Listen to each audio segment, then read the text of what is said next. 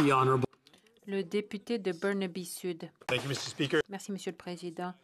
Je prends la parole aujourd'hui en cette Chambre pour rendre hommage à ceux qui ont fait le sacrifice ultime pour servir notre pays. Les livres du souvenir contiennent plus de 118 000 noms de Canadiens qui ont payé justement ce prix ultime.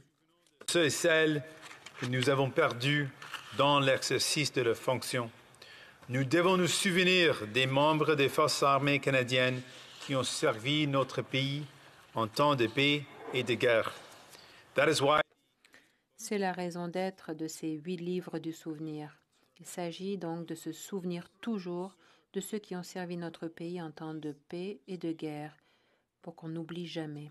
Aujourd'hui, neuf membres des Forces armées canadiennes tués en 2020 seront ajoutés pour la première fois au livre du souvenir du service. J'aimerais vous lire les noms pour qu'on puisse continuer s'en souvenir. Le matelot de première classe, Eric Anthony Keane. Le caporal-chef, Matthew Alexander Cousins. Le sous-lieutenant Abigail Lillian Calbro. Le capitaine Kevin Matthew Higgin. Le capitaine Brandon Ian MacDonald. Le capitaine Maxime Miron Morin. Le sous-lieutenant Matthew Kendall Pike. La capitaine Jennifer Rose Casey. Et le matelot James McCourt. À leurs familles et amis, je présente mes respects et mes condoléances. Je vous assure qu'ils ne seront jamais oubliés. canadiennes ont toujours été là pour les, Canadiens et Canadiennes, pour les aider. The most recent example L'exemple le plus récent de service a été pendant la pandémie de COVID-19 dans le cadre de l'opération Laser où les forces armées ont accouru pour aider nos proches en soins de longue durée. Ils étaient là pour soutenir les communautés nordiques et éloignées, y compris les Premières Nations. Ils étaient là pour aider les efforts de recherche de, ou de retraçage de contacts en Ontario et dans les réserves des Premières Nations. assurer que les personnes avaient accès à des équipements, des protections individuelles pour rester en sécurité.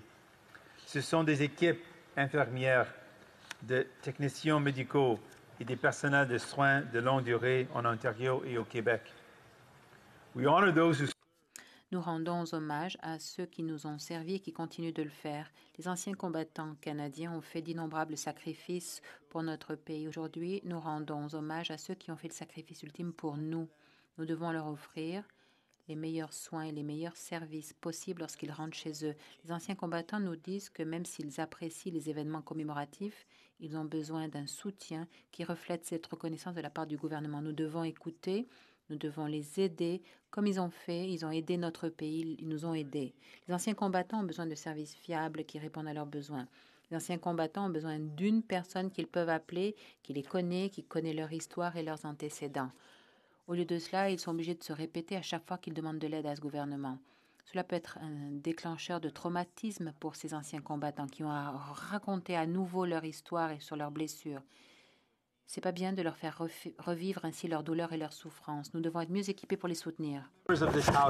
Tous les députés ici reçoivent des appels d'anciens combattants qui ont besoin d'aide pour s'orienter au sein d'anciens combattants. Nous devons faire mieux pour nos anciens combattants. Ils méritent qu'on fasse mieux et c'est ce à quoi ils ont droit. Les néo-démocrates continueront de se battre pour que le gouvernement offre de meilleurs services à nos anciens combattants.